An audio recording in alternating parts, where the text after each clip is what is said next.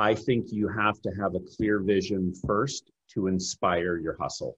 If you're hustling, hustling towards what? You're walking aimlessly or you're going towards a goal that isn't clear. If you have a vision and it's clear in your mind as the entrepreneur, great, get out there and chase it.